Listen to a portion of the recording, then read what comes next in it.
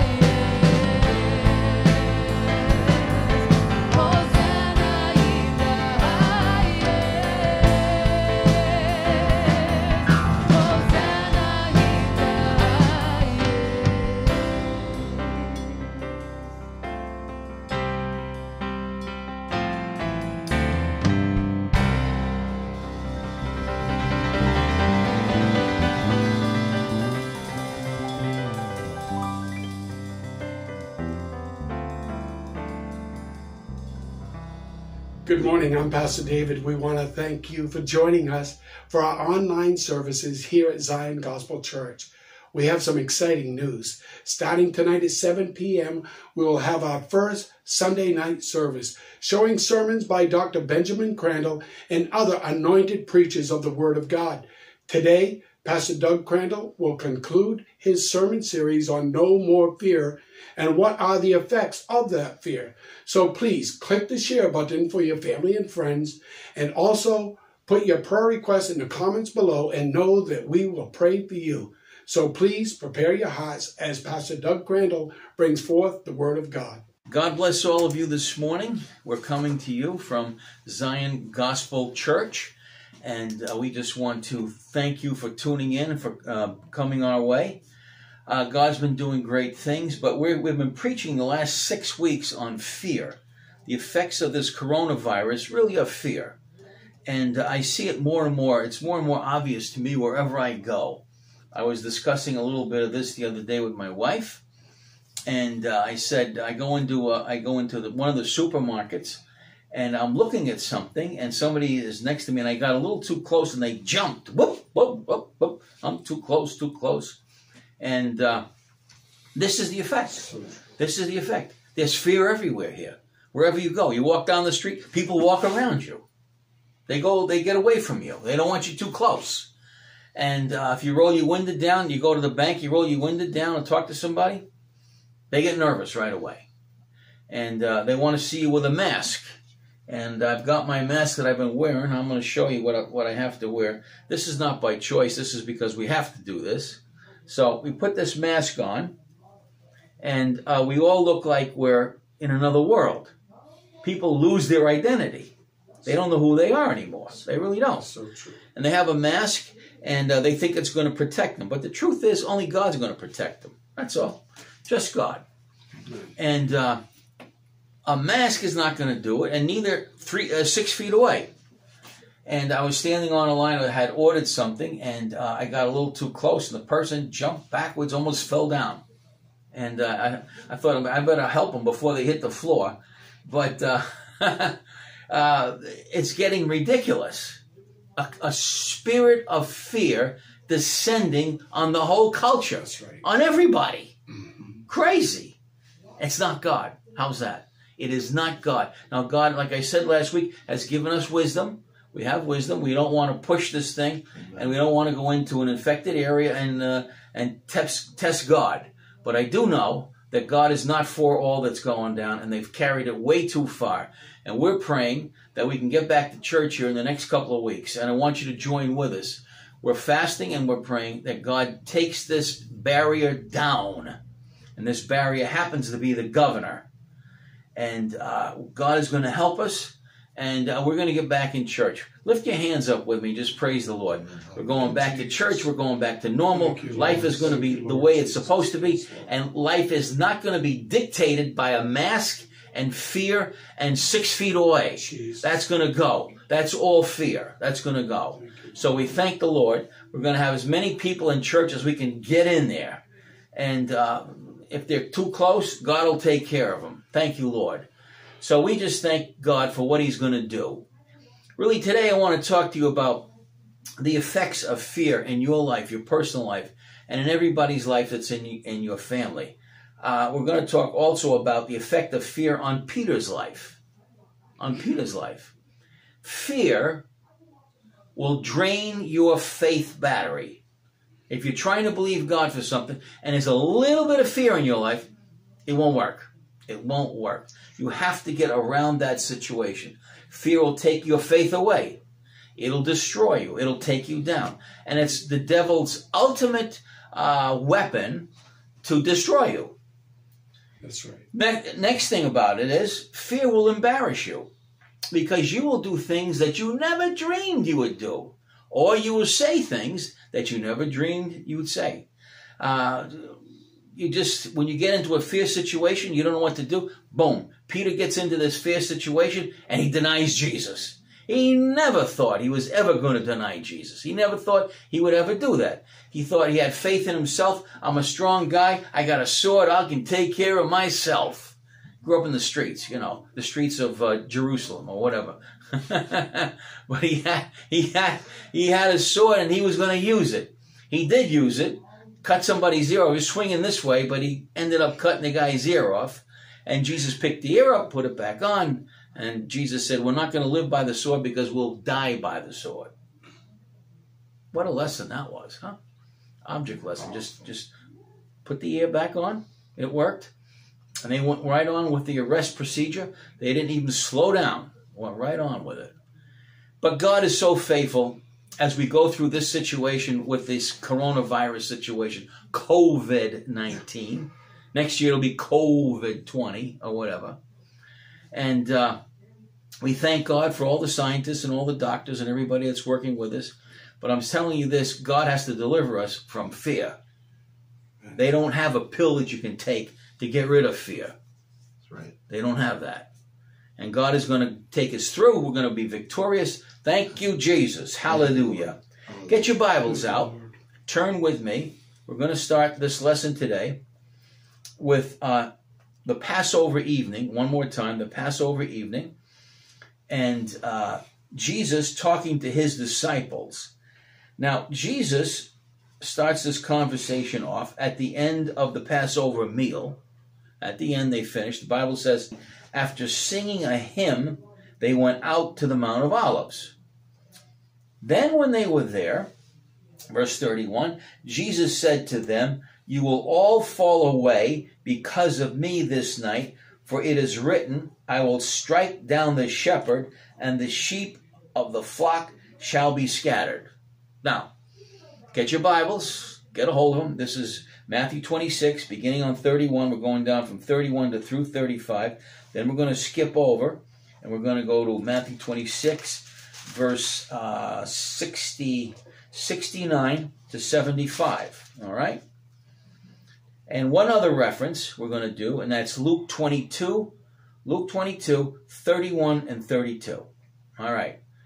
Now, if you have your Bibles, keep your finger in Matthew 26, but go over to Luke 22 just for a moment. This is really where the story begins here. Jesus has just warned them. I just read that scripture, that verse. Jesus just warned them that they're all going to be arrested and they're going to be scattered. And then, of course, Peter makes the statement of faith. If everybody gets goes uh, away, runs away from you, not me, I'm not running. I'm staying. But notice what happens here in uh, Luke 22, beginning on verse 31 and then 32. Very important. Right after this, right after this meal, Jesus says to Peter, and right after this statement, I believe it's after the statement that he made back in Luke's and Matthew's gospel. Simon, Simon, behold, Satan has demanded permission to sift you like wheat. Now, in the original Greek, it says Satan has obtained permission to test you. My personal opinion, I don't want to get into this too deep, but my personal opinion is, was that statement that popped out of, out of his mouth, out of Peter's mouth, put him in a position where Satan had a right to test him. Right there. Boom. Yes. We got to be very careful. God's really been impressing on me that what comes out of my mouth, what, where, when, how. Be very careful because we're opening ourselves up for a test. So Jesus warns him. Thank God. Jesus had been praying for all of us. He's been praying for us right now. Uh, Simon, Simon, behold, Satan has demanded a permission to sift you like wheat or to test you. 32, verse 32. This is Luke chapter 22, verse 32.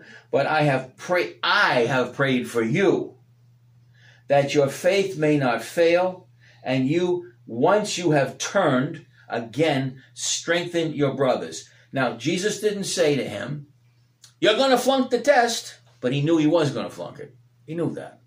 But he said, I have prayed for you. Now, God knows we're going to flunk. God knows we're going to flunk the test. He knows that.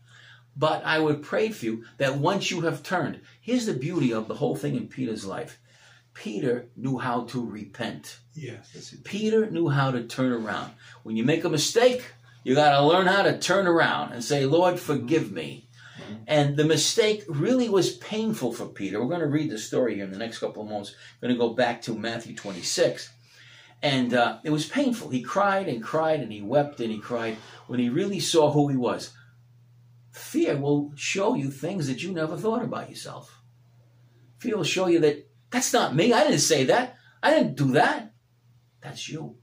That's you. And what happened? Peter really had a salvation, repentant experience with God, and he gave it up. Thank you, Jesus. Thank you, Jesus had already prayed for him and said, once you have turned, which means repent, you've turned around, change your direction. Once you've changed your direction, I'm praying that you're going to be a great blessing to your brothers. Hallelujah. You, And he was. Peter was a great blessing to the church in Jerusalem on the day of Pentecost. He preached up a storm, 3,000 people saved in one day, one meeting. That was God. And that's because he had repented and turned his direction around. Say hallelujah. Hallelujah. Glory to God. Peter learned an expensive lesson, which we all have to learn sometime, is we got to be careful what we say and how we say it. Hallelujah. Turn with me back now to uh, the scriptures here, chapter 26. Going back to verse 31 one more time. Then Jesus said to them, You will all fall away because of me. What a, what a statement. You, all of you, will fall away because of me, because of who I am. And then he gives them, this is important, the scriptural reference for this. Okay? This night, he said, I'm not talking about you falling away tomorrow or the next week, you're falling away tonight.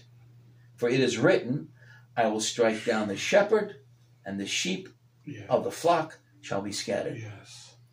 But after I have been raised, on the third day, he's saying, I will go ahead of you to Galilee. Hallelujah. So, there again, they all flunked the test. They all flunked it. They all scattered. They all ran. Hmm. Some ran home, some ran to their friend's house. They ran all different places. They took off. Some went back to uh, different groups that they had, were a part of. But they all flunked. But he said, once I'm raised, I will meet you in Galilee. Say hallelujah. Mm, Glory to God. And what he was saying is, you're going to make it. You're going to you're going to fall down, bump your knee.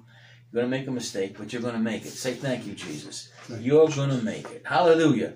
Glory to God. It feels so good to know. It makes you feel so good, me so good, and you so good to know that Jesus prayed for us. Yes. And Jesus knows the mistakes we're going to make before we make them. Yes. Mm-hmm. That's powerful. Jesus. He knows we're going to make it, but he's prepared for that. Say hallelujah. Hallelujah. Peter came back and he was a powerful preacher of the gospel in the Jewish community. He affected Judaism like nobody else. Say thank you, Jesus. Thank you, Hallelujah. Hallelujah. Glory to God. Thank you, Glory to Jesus. God. Amen. but after you have been raised, I'll go ahead of you. After I have been raised, I'll go ahead of you. Verse 32, 33. But Peter said to him, Even though all may fall away. This guy had a little problem with his ego. All may fall away because of you. I will never fall away. Now, this is important to remember he really believed what he said. He believed it with all of his heart. There was no doubt inside of Peter. He believed he would never fall away or that fear would never get a hold of him. He believed it with everything that was in him. But God knows that there's a there are tests coming. God knows that there are tests coming. That some of us are going to get knocked down, but we're going to get up again. Say hallelujah. Hallelujah. We're going to get up again. Thank you, Jesus. Glory to God. So Jesus knew the test was coming, and he knew that Peter was going to fail. Okay? Jesus said to him, Truly I say to you, that this very night, before a rooster crows, you will deny me three times. Yep. Not once, not twice, but three times. Incredible. Peter said to him, Even if I have to die with you, even if I have to die, I will not deny you. I won't do it. That's how strong his faith was. I mean, his faith was strong. But all of a sudden, all the disciples said the same thing. Now, notice, they all chimed in with Peter. We'll never leave you. We'll never be frightened. We'll never let you go. And they really believed it. They really did. So, Satan has tests for us that are designed. He knows exactly how to spook us. He knows how to spook us. And they got spooked when they were in the garden. When the crowd showed up with swords and clubs, they got spooked. I had a friend call me up this week. I shouldn't tell the story too much, but it's it's a good, it's a funny story. I said, "What are you doing these days?" He said, "I'm going, I'm going around spooking people." I said, "What are you talking about?" He said, "I go into the market and I, I don't wear a mask, and they look like me like I'm a, like I'm like I'm Godzilla, like I'm a, uh, an animal." He said, and then I go over right next to them and start looking around and stuff right next to them, vegetables, meat, whatever, and they jump, they run away. He said, I'm having a great time. I'm spooking the whole crowd. I'm spooking everybody. That's great. Oh yeah. So don't you do that. Let him do that. But anyway, he's he gets as part of his uh, part of his fun in life. He's spooking people now. So the disciples got frightened, desperately frightened. Turn with me. Yes. Turn with me to Matthew 26, beginning on verse 69. Matthew 26, verse 69. Now, this is after Jesus had been taken away out of the Garden of Gethsemane, and part of the trial had already begun. But now Peter is sitting outside in the courtyard. This is where he is. And a servant girl came to him and said, You too were with Jesus the Galilean. I saw you there. You were there. Fear hits him. Boom. Why? He thought that he was hiding. He thought he was hiding. Right. He thought he was out from sight.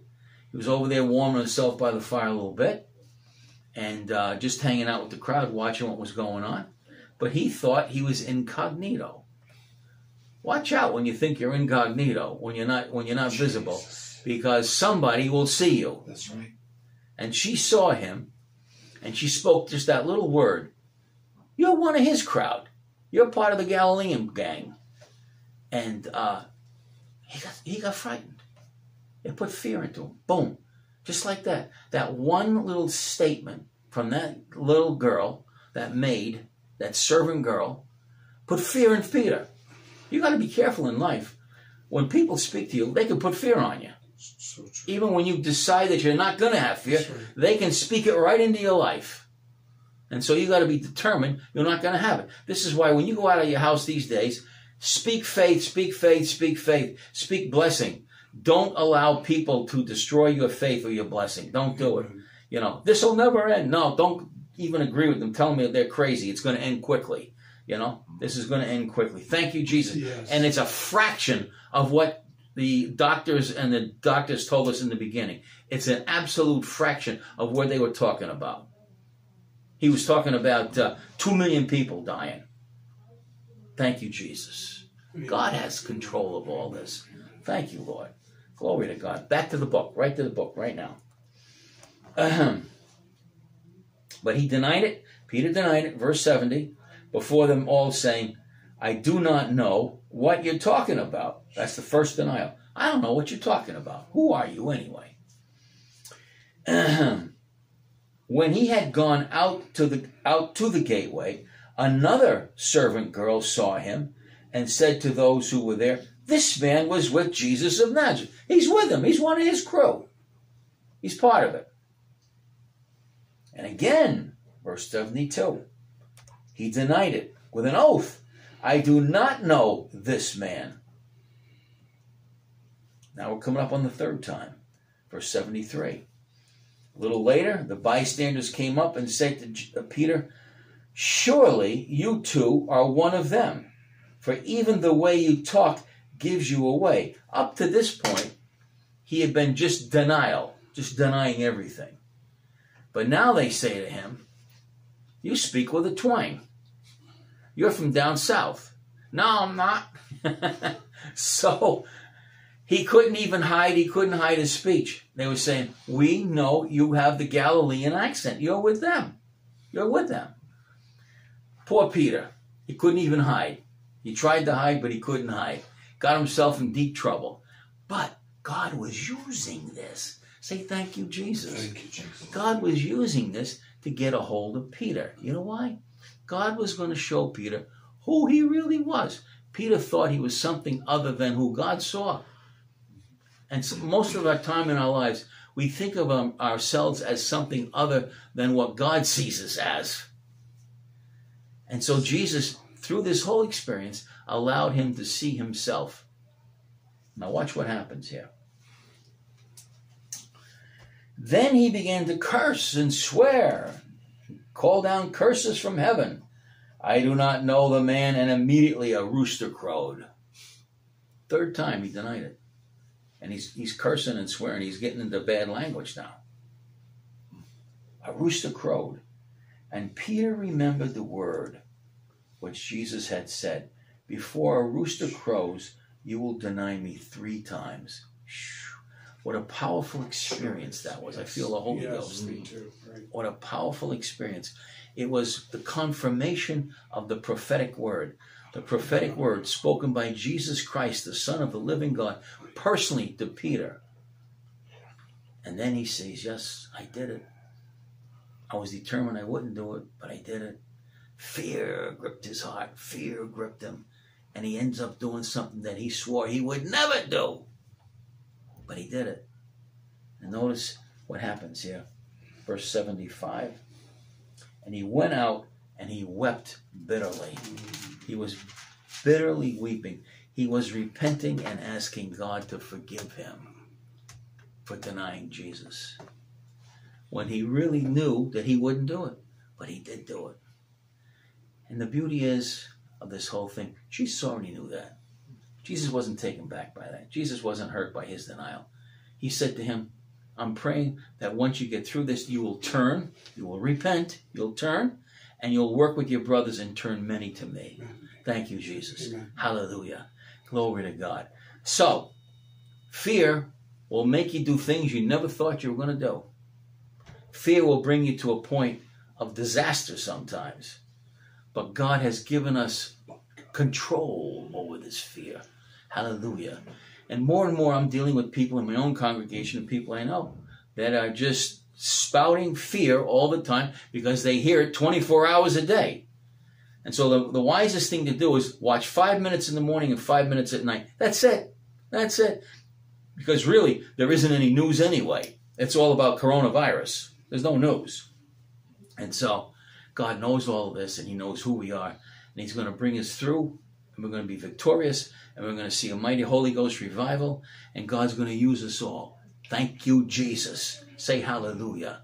Stand up with me wherever you are. Hallelujah. We're going to pray against fear once again. Put your hands up. Hallelujah. Father, we curse fear as it tries to wind its way like a snake around our head Yes. and our minds and our bodies, and we curse it. Jesus. And we do not have it. It will not have control over us. It will not.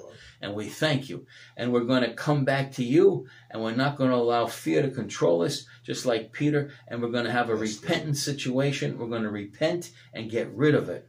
Thank you. Hallelujah.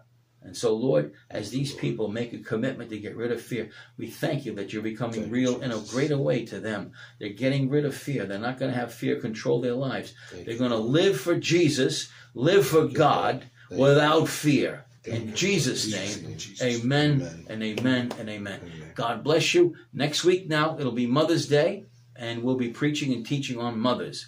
We won't be on fear, but uh, we thank God for this whole series we've done on fear. It's taken a lot of, it's t- touched a lot of people's lives. I know it's changed me. I've been doing a lot of thinking and praying about it, and uh, it'll touch yours. God bless you. See you next week.